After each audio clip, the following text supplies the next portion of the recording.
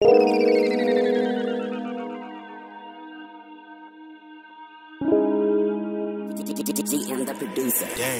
my nigga Glock made this shit.